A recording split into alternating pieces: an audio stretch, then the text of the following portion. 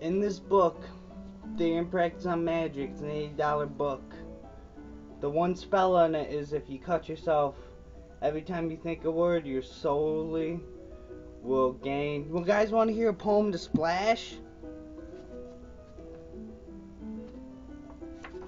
Do without wilt should be the whole of the law.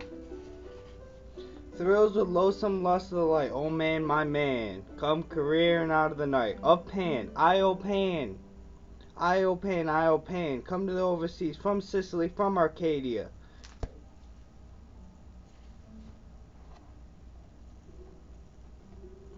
Let him invoke the hexagram of the beast.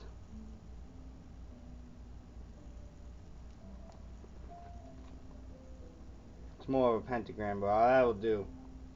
You guys should read the Bible, says Crowley. The Master Therion explains. Okay.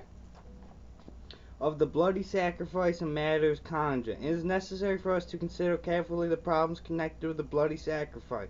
Jesus Christ is who he's referring to. For the question is indeed traditionally important in magic.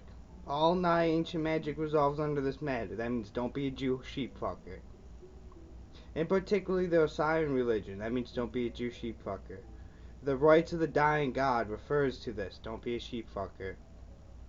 The slaying of Osiris and Adonis. doesn't work, man. They always pussy out.